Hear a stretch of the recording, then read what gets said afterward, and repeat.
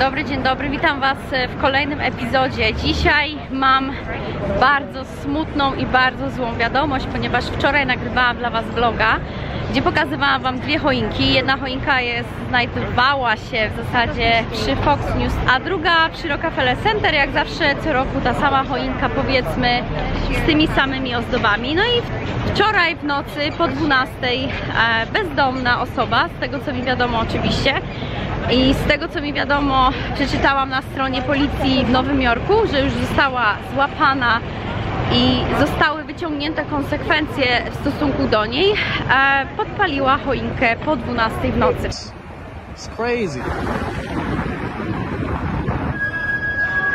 Wspięła się na choinkę i ją podpaliła. I powiem Wam, że niestety tutaj w Nowym Jorku jest ogromny problem, jeżeli chodzi o bezdomność. E, Mamy nadzieję, że osoba, która jest, była e, wybrana na muszę na teraz na gubernatora chyba Nowego Jorku, już sama nie wiem, bo nie mieszkam w zasadzie w Nowym Jorku, tylko mieszkam w New Jersey. E, zaraz e, tutaj naprzeciwko Manhattanu mieszkam w Hoboken, więc nie znam do końca sytuacji politycznej w Nowym Jorku, ale mam nadzieję, że w końcu to się zmieni, ta sytuacja, jeżeli chodzi o Nowy Jork.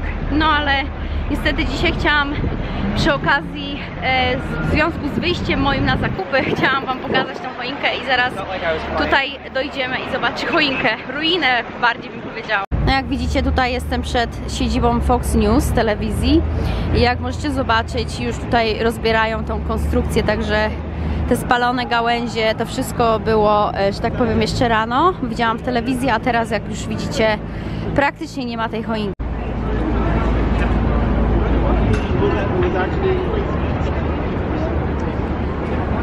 No jak widzicie tutaj drzewa też są troszeczkę spalone. Na tych drzewach były lampki. Te lampki już oczywiście, że nie działają. Te drzewa się też paliły. Na szczęście szybko zagasili e, pożar.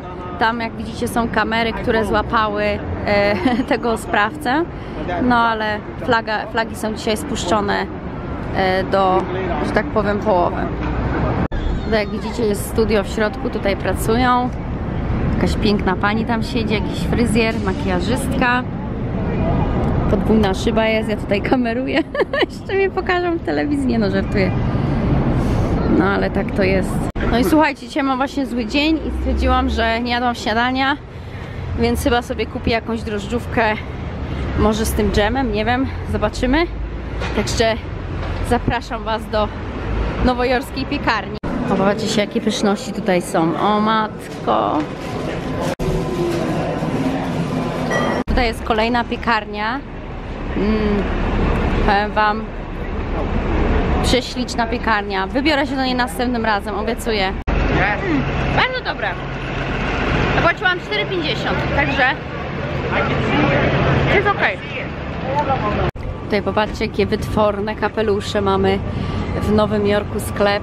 Także jak ktoś z Was jest zainteresowany jakimś kapeluszem, czapką, tutaj jest bardzo wiele takich sklepów. Macie od wyboru do koloru różnego rodzaju torebki, oczywiście podróby, jak żeby inaczej. Tutaj tak samo mamy, mamy czapkę Brooklyn. A nawet fajna ta czapka jest. Nie powiem, nie powiem że, że nie.